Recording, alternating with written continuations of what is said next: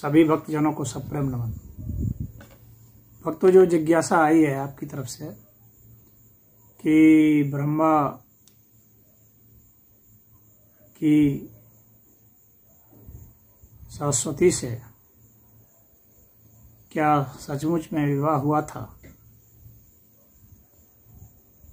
इस पर बहुत सारे प्रश्न उठाए जाते हैं। विशेषकर सनातन धर्म के विरोधियों द्वारा। तो यह बताऊँ कि यहाँ पर पुत्र पुत्री का जो संबंध बताया गया है, यह सिंबॉलिक है। ब्रह्मा कोई व्यक्ति नहीं है, हमारे आपके जैसा कपड़े पहना हुआ और न ही सरस्वती कोई व्यक्ति है। साड़ी पहनी हुई।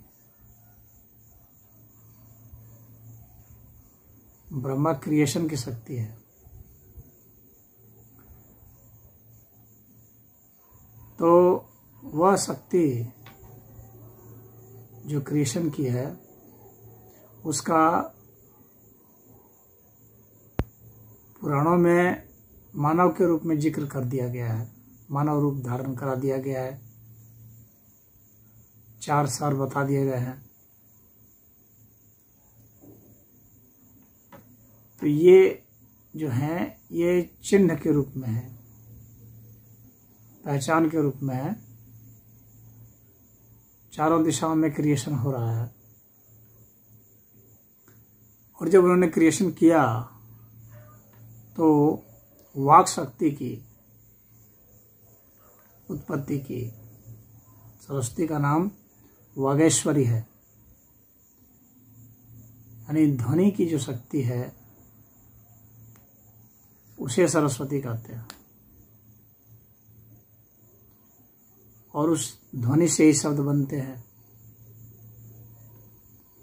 वर्ण बने, शब्द बने, विचार बने विचारों की श्रृंखला विछंद बने, संगीत बना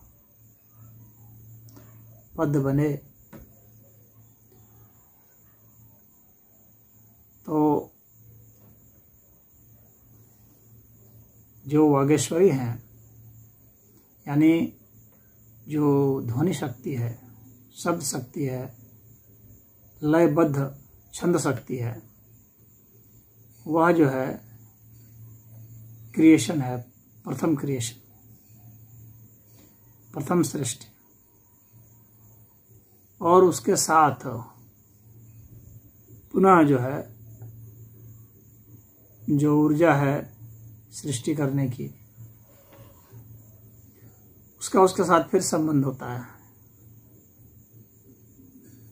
और चूँकि सृष्टि की जो शक्ति है, उसने इसको उत्पन्न किया।